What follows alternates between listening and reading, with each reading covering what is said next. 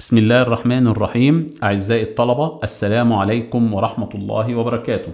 استكمالا لموضوع ال stability of slopes اللي هو chapter 8 في ال soil mechanics course. فالنهاردة هنتكلم على موضوع تاني اللي هو ال modes of slope failure. يعني ال failure ده بتاع ال slopes. إحنا المرة اللي فاتت اتعلمنا آه، أو قلنا إيه هي معنى كلمة slope وإزاي بتبقى موجودة. النهاردة هنقول إيه هي ال modes of slope إيه failure ففي عندي عشان يحصل ال slope failure ديت ممكن تكون حاجة من الست حالات اللي قدامنا ديت. يا إما يحصل translation slip in infinite slopes زي ما أنت شايف في هنا ميل غير محدود. فالغير المحدود ده ممكن يحصل translation ليه كده؟ يحصل الانهيار اللي أنت شايفه ده.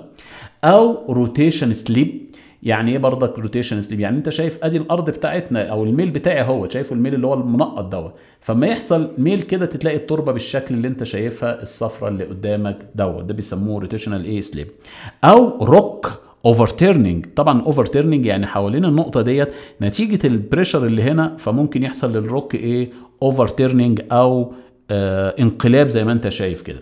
أو translation slip on weak interface. يعني أنا لو عندي تربة هنا ضعيفة والتربة القوية ديت التربة القوية ديت مش هيحصل لها انهيار ولكن اللي هيحصل انهيار إن شايفين ال wedge ده كله نتيجة ال earth pressure ممكن يتزحلق على مين؟ على ال weak interface دوت. أو ممكن يحصل flow في الايه ال soft soil طبعا عارفين ال soft soil ومشاكلها ممكن يحصل لها إيه flow بالشكل اللي قدامك دوت.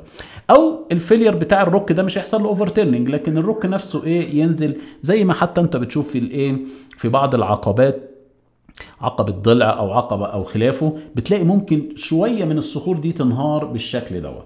طبعا إحنا في ال course بتاعنا مش هندرس كل المواضيع ديت يعني لكن إحنا هيبقى آه، التركيز بتاعنا على ال rotational slope failure وال rotational slope failure اللي هنتكلم عليه في ال course بتاعنا عبارة عن إيه؟ ممكن يبقى بسبب إيه؟ عندي أو أنواعه إيه في الآخر؟ هم أربع أنواع. يا إما يحصل slip or failure plane يعني شايفين المستوى ده يحصل فيه thin layer of weak soil موجودة هنا اهوت. فالطبقه دي ضعيفة جدا. فيبتدي إيه؟ شايفين ده كله يتزحلق عليها كده. ماشي؟ بس ده لما ألاقي هنا طبقة مالها ضعيفة.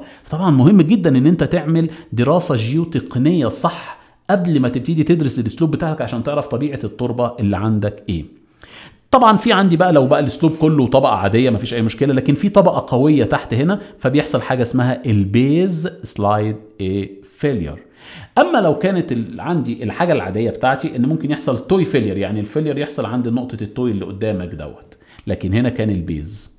طيب افرض أنا بقى كان في عندي هنا طبقة قوية جدا فاهمين إزاي؟ تحت مش هيحصل ولا ال base يعني لو لو ال toe ده اللي هيحصل كده وال base اللي يحصل كده لا عندي بقى طبقة هنا ضعيفة فتلاقي إن حصل لك هنا ده ساعات بيسموه slip أو slope slip slide أو ساعات بيسموه ال face failure دول أنواع ال failure اللي إحنا هنتكلم عليهم في ال course بتاعنا أو اللي إحنا هنبقى مرتبطين بيهم في هذا ال course.